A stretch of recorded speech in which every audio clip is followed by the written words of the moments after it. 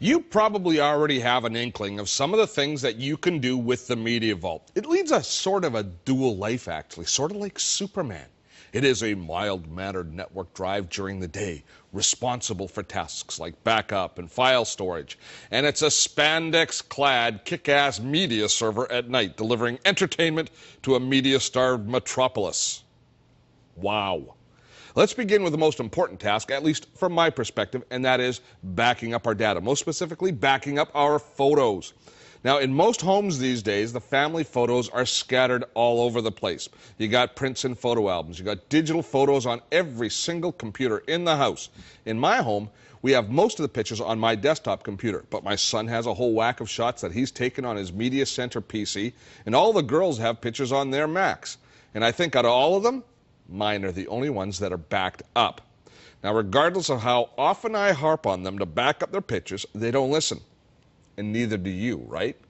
Well, if we don't back up our photos now with the Media Vault installed, we probably never will. And backing up photos is just the first task for the Media Vault. I can also store or back up all of my documents and important files on the Media Vault. And the Media Vault has all the tools to make that easy and automatic. So let us take a look.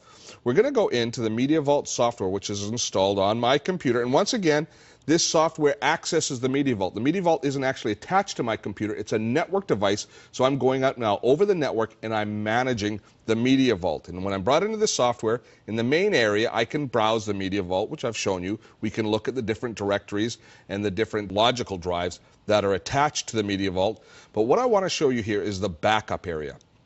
We go into backup, and this is a very simple wizard that will do our main backup task, backing up our important files, our entire hard drive, or restoring an entire hard drive. Now, we can install this software on multiple computers, so it can do the same thing for a whole series of computers, for actually every computer in the house. And let's take a look at the backing up your important files. And it's really very simple if you have all your files properly organized on your computer's hard drive. If you have a My Documents folder that contains my videos and my pictures and all that sort of stuff, then you just say, I want to back up my documents, and it will now automatically run through and back up all of your documents onto the Media Vault. It's that simple to do. And let's actually take another look back here at the Media Vault for a second. And as I mentioned before, we can add another internal drive to the Media Vault, giving us up to 1.2 terabytes of storage, and it also has USB ports. So we could conceivably connect additional USB drives to the Media Vault, allowing us to then back up our backup and then you can take your backup of your backup and move it off site. It's really your choice because the Media Vault will let you manage your network as you see fit. Now, I mentioned that our house has a mixed network, Macs and PCs, and that's no problem with the Media Vault because Macs, Linux machines, Windows PCs, they can all back up their files and access the features of the Media Vault. Let me show you that just really quickly. I've got a MacBook here, and it is on the same wireless network as the rest of the computers in the set here.